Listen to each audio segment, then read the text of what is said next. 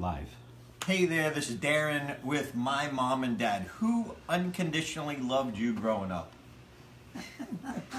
um, they have no idea what's going on, but I wanted to brag on my mom and dad.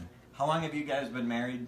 63 years. 63 years.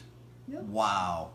Uh, my dad is unbelievably talented with wood and woodworking. He made this for my nephew when uh, for his first birthday, and First, my first Christmas. first Christmas. First See, Christmas. they're still correcting me. I love that.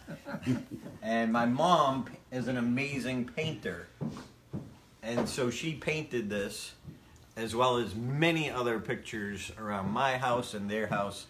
And uh, anyway, just want to say I love you guys. Thank you so much Love you. for loving me unconditionally growing up. Yeah. You guys are super talented and creative, and I got none of your woodworking or painting skills, um, but I got your heart. So Very good. thanks for loving me. Love you. We love you, man. All right, see you tomorrow. Cut.